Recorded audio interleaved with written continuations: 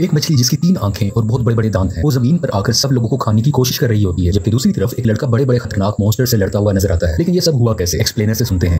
जो मूवी मैं आज आपको एक्सप्लेन करने वाली हूँ, उसका नाम है थाउज़ेंड फेसेस ऑफ़ दंजिया दंजिया कुछ ऐसी एनर्जीज जिनको कई साल पहले एक डिवाइस में बंद कर दिया गया था। क्योंकि अगर इन एनर्जीज के कुछ फ़ायदे भी थे तो ऑब्वियसली नुकसान भी थे। और इसको हासिल करने की कई ट्राइब्स कई सोल्जर्स और इवन कई टीमंस ने भी कोशिश की थी। तो अब सदियों से एक कबीला, यानी ट्राइब इनकी हिफाजत कर रहा था, इनको गार्ड कर रहा था। तो इस मूवी की मेन स्टार्टिंग में हमें कॉन्स्टेबल को देखते हैं, जो की न्यूली हायर्ड है। यानी आज उसकी ड्यूटी का पहला दिन है और उसे काफ़ी तंग किया जाता है। उसके सीनियर्स उसे कुछ स्केचेस बना कर देते हैं और कहते हैं कि इन लोगों को ढूंढ कर लाओ। हालाँकि इस शक्ल के कोई लोग नहीं होते। यानी उन लोगों ने स्केचेस अपने पास से बनाए होते हैं। अब यहाँ पर सीन कट होता है। हम एक फॉरेस्ट को देखते हैं, जहाँ पर बहुत बड़ा एस्ट्रॉइड गिरता है। लेकिन इनफेक्ट वो एस्ट्रॉइड नहीं था, बल्कि कुछ एलियंस का अराइवल था। वो ज़मीन पर इन एनर्जीज यानी तंशा को हासिल करने आए थे। अब दूसरी तरफ़ हम उस बेचारे कांस्टेबल को देखते हैं, जो कैसे लोगों को ढूंढ रहा होता है, जो एक्सिस्ट ही नहीं करते हैं। वो टाउन में जाकर एक लेडी को ये स्केचेस दिखाता है, पूछने लगता है कि, मिस, आपने लोगों को कहीं देखा है? तो वो कहती है कि इधर ही कहीं होंगे, ढूंढ लो। तभी उस कांस्टेबल को एक जाइंट आदमी देखता है, जिसके हाथ में एक कोड होता है और उसमें उसकी मछली होती है। वो आदमी एक होटल पर जाता है और रूम बुक करवाता है, क्योंकि वो वहाँ पर रहने आया था। लेकिन होटल ओनर उसे अलाउ नहीं करता कि अपना फ़िश बोर्ड साथ अंदर लेकर आ सके। तो वो आदमी उसे लड़ने लगता है कि ये कैसा रूल है तुम्हारा? मैं तुमसे जगह रेंट पर ले रहा हूँ और मेरे से जो भी चीज़ बिलोंग करती होगी वो मेरे साथ ही आएगी ना? लेकिन होटल ओनर नहीं सुनता। उस जाइंट आदमी को गुस्सा आ जाता है। उनमें बहस होने लगती है और देखते ही देखते उस आदमी के पोट में से उसकी मछली काफ़ी बड़ी होकर बाहर आती है और होटल के सारे स्टाफ पर अटैक करने लगती है। उन पर टेल्स मारने लगती है और काफ़ी तबाही मचा देती है। अब कांस्टेबल भी अपनी तलवार निकालता है। उस मछली को रोकने लगता है, लेकिन वो उसके बस में भी नहीं आ रही थी। तो अब वो लेडी वहाँ पर आती है। वो उस फ़िश पर टेबल रख देती है, खुद उसके ऊपर खड़ी हो जाती है। लेकिन वो फ़िश अभी भी नहीं कंट्रोल हो रही थी। तो वो लेडी उस फ़िश के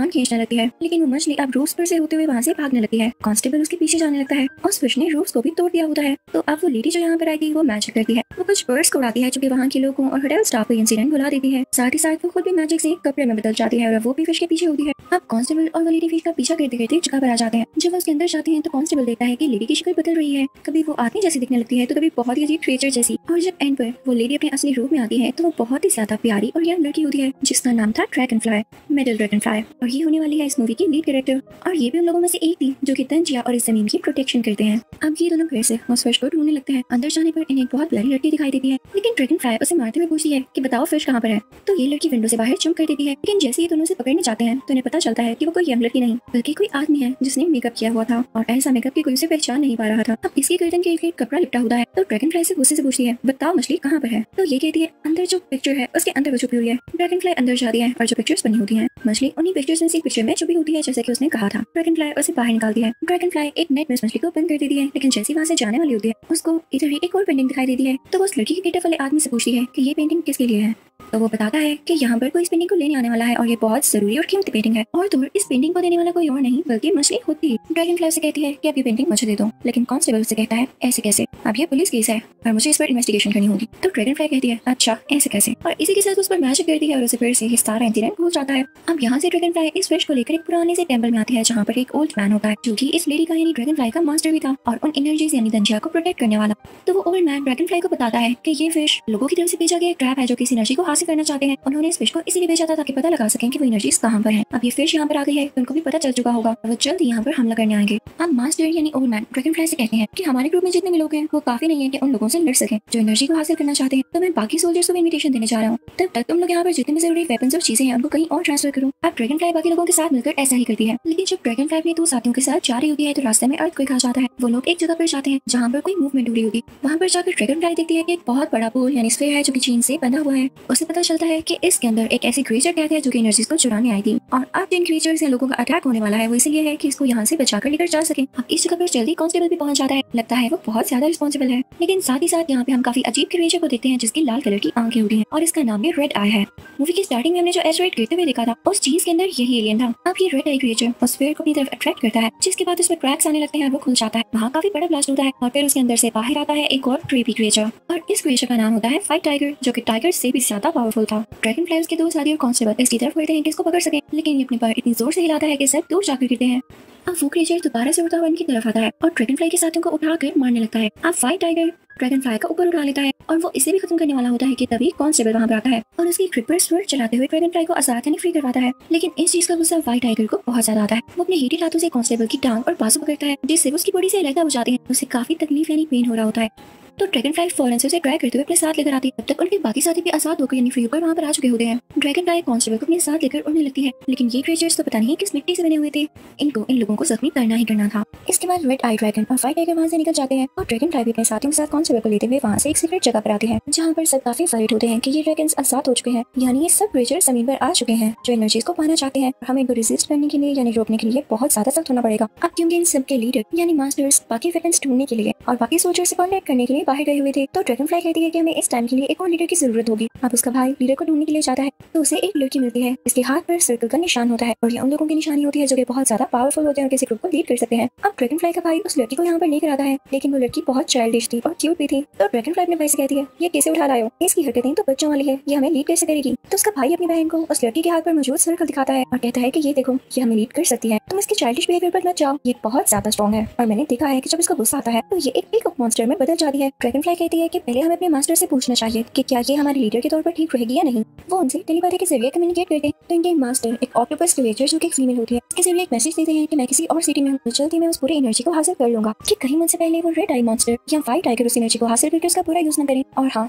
जिस लीडर की तुम लोग बात कर रहे हो, यानी जिसके पास ऊपर सर्कल है, वही तुम लोगों की अब नई लीडर है। और तुम सब उसको अपने साथ लेकर इसी सिटी में आ जाओ जहाँ पर मैं हूँ। अब वो सब अपनी तैयारी पकड़ते हैं लेकिन ड्रैगन फ्लाई का मूड अभी भी ऑफ़ होता है। क्योंकि उसे अपनी नई लीडर बिल्कुल भी अच्छी नहीं लग रही थी उसके चाइल्डिश और नॉन सीरियस बिहेवियर की वजह से। और साथ ही साथ वो कॉन्स्टेबल की वजह से भी परेशान थी। अब उसको नकली हाथ और पाँव काट दिए जाते हैं और अपनी जर्नी पर सब लोग निकल जाते हैं। रास्ते में जब ये लोग केव पर स्टे करते हैं, यानी केव के अंदर कुछ देर रेस्ट करने के लिए रुकते हैं तो सब लोग अभी इसमें यही बातें करने लगते हैं जो कि ड्रैगन फ्लाई सोच रही होती है कि ऐसी लड़की जो मेच्योर ही नहीं है, वो हमें कैसे लीड कर सकती है? तो ये सारी बातें, वो लड़की खामोशी से सुन रही होती है और फिर जल्दी उसको गुस्सा आ जाता है। उसे पिकअप मॉन्स्टर में बदल जाती है और वहाँ के एक आदमी पर अपना क्लो रखती है। और उसकी जान लेने वाली होती है कि तभी ड्रैगन फ्लाई का भाई उसे कहता है, कुछ नहीं होता, तुम्हें पेशेंट रहना होगा। वो उसे गले से लगा लेता है। यानी इस पूरे ट्राइब यानी ग्रुप में सिर्फ़ एक वही आदमी था जो इस लीडर का साथ दे रहा था और ये बात ड्रैगन फ्लाई को बिल्कुल अच्छी नहीं लग रही थी। अब उधर उस सिटी में हम मास्टर को देखते हैं, जो बाकी बड़े बड़े सोल्जर्स के साथ होते हैं। वो लोग एक बॉक्स खोलते हैं और सारे लीडर्स अपनी थोड़ी थोड़ी पावर्स का यूज़ करते हुए वहाँ पर एक आर्ट वेपन तैयार करते हैं। और जल्दी वहाँ पर रेड आई और व्हाइट टाइगर भी आ जाते हैं, जो कि उस आर्ट वेपन को अपने पास रख लेते हैं। दोनों ड्रैगन्स काफ़ी वेव्स बनाते हैं, जो कि मैजिकल वेव्स होती हैं। वो मास्टर को लेने की कोशिश करते हैं, लेकिन मास्टर खुद को डिफेंड करने के लिए अम्ब्रेला लाइट शील्ड बना लेते हैं। अब जब व्हाइट टाइगर और रेड मॉन्स्टर के पास ये आर्ट वेपन आना चुका होता है तो उनका नेक्स्ट टारगेट होता है। इस ट्राइब की नई लीडर को पकड़कर मारना, यानी वही लड़की जिसके हाथ पर सर्कल का निशान है।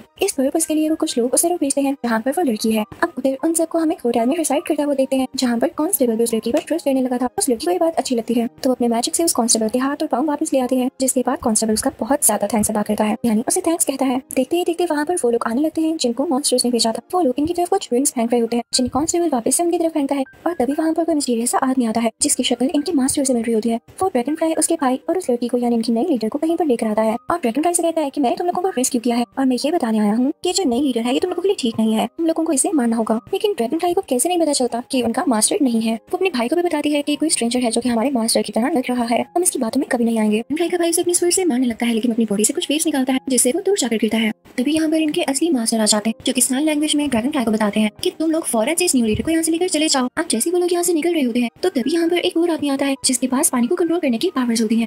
इन पर पानी से अटैक करता है तो इनकी न्यू लीडर नीचे गिर जाती है। इसके बाद वो आदमी ड्रैगन फ्लाई उसके भाई के भी पानी का सर्कल बना लेता है, जिससे उन्हें पेन हो रही होती है। उनकी एनर्जी ट्रेन होने लगती है और वो मरने के करीब भी होते हैं। कि तभी वो लड़की, जो उनकी न्यू लीडर होती है, वो अपने पास पड़ी स्टिक को हिलाने लगती है और उस आदमी की चेस्ट की तरफ़ फेंकती है, जिससे वो आदमी की चेस्ट में लग जाती है और उसका वाटर मैजिक रुक जाता है। और ऐसा करने से ड्रैगन फ्लाई उसका भाई एंड टाइम पर बच जाते हैं। ड्रैगन फ्लाई तो बेहोश होती है। तो ड्रैगन फ्लाई का भाई उस लड़की को देखता है, जिसका कलर काफ़ी चेंज हो चुका था। उसकी बॉडी ठंडी पड़ रही थी। और जैसे ही इसको हाथ लगाता है तो उसे विजन आने लगता है, जिसमें अपने सबसे फ़र्स्ट एम्पर को देखता है, जो इसे बताते हैं, कई साल पहले जब इस दुनिया में मॉन्स्टर्स आए थे तो हमने दंशा की पावर्स एंड एनर्जी को यूज़ करके उनसे लड़ाई की थी। लेकिन इस दौरान हमारा वो आर्ट वेपन चोरी हो गया।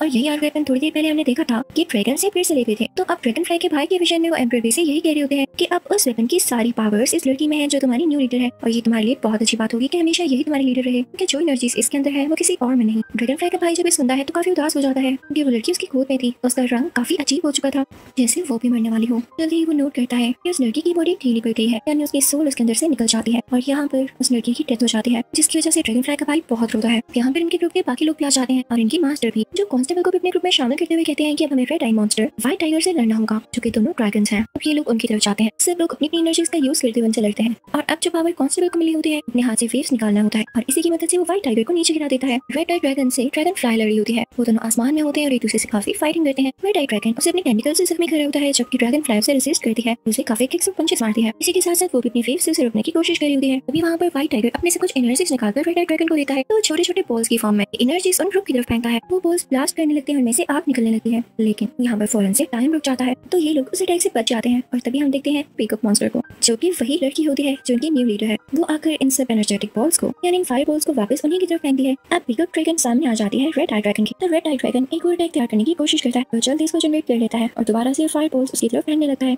और तभी वहाँ पर व्हाइट टाइगर आ जाता है, जो कि पिकअप मॉन्स्टर पर अटैक करने आया था। लेकिन इसी टाइम वो पिकअप मॉन्स्टर दरमियान में से हट जाती है और वो फायर बॉल्स जाकर लगते हैं व्हाइट टाइगर को। अब यहाँ पर बहुत बड़ा ब्लास्ट होता है, जिसमें व्हाइट टाइगर तो मारा जाता है, लेकिन रेड आई ड्रैगन भी काफ़ी जख्मी होता है। उनकी न्यू लीडर फ़ौरन से आसमान ऊपर जाती है रेड आई ड्रैगन को पकड़ते हुए घुमा कर नीचे फेंकती है। इस बात की वजह से पूरा ग्रुप उसे बहुत इंप्रेस होता है और उसे अपना न्यू लीडर मान लेता है। अब इन सबको पता चलता है की व्हाइट टाइगर जो कि ज़मीन के नीचे से आया था, और रेड आई ड्रैगन जो कि ऊपर आसमान से आया था, ये दोनों यहाँ पर अपने लीडर को आज़ाद करवाने आए थे। तब ये लोग प्लान करते हैं की ये लोग उस मॉन्स्टर लीडर को ही खत्म कर देंगे, ताकि कोई भी क्रिएचर दोबारा ना सके। और मूवी के एंडिंग सीन में हम देखते हैं कि ड्रैगन फ्लाई का भाई और इनकी न्यू लीडर एक दूसरे को पसंद करने लगते हैं, और उस तरफ़ ड्रैगन फ्लाई और कॉन्स्टेबल एक दूसरे को पसंद करने लगते हैं, और इसी के साथ इस मूवी का एंड हो जाता है। I hope you like explanation thank you